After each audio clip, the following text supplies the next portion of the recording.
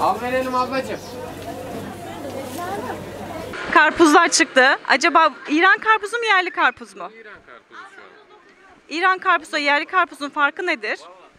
İran karpuzu şu an e, burası soğuk geçtiği için bugün e, bu yıl e, bu daha tatlı geliyor. Haftaya ama yerli karpuzu başlayacağız bu sıcaklardan sonra. Fiyatları fark ediyor mu? Şu an fark etmiyor aynı. İran e, karpuzu biter haftaya zaten yerli karpuza başlarız. Karpuza İran karpuzu mu yerli karpuz mu? Yerli serik, özel, orijinal serik karpuzu. Fiyatları nasıl? Fiyatları şu anda e, 15 lira, 14 lira civarında. İran karpuzu farkı var mı? İran karpuzuna ne fark olacak ki? Bizim yerli karpuzumuz daha güzel. İran karpuzu e, mesela 15-20 günlük karpuz, bu taze karpuz. Hani gelişi 15-20 günü sürer bura. İran karpuzu bitmek üzere. Yerli çıktı artık. Fiyatlar nasıl? Normal. Her İran- şey normal yani.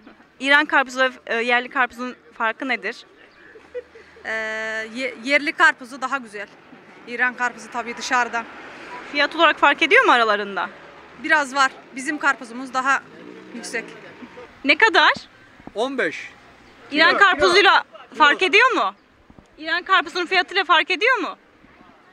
Vallahi yetmesi lazım bilmiyorum. İran karpuzu kaç para bu karpuz İran karpuzu kaç para olduğunu bilmiyorum ama İran karpuzundan 20 bu liraya sattık lezzetli. 15 liraya satacağız. İran karpuzundan bu lezzetli gelir.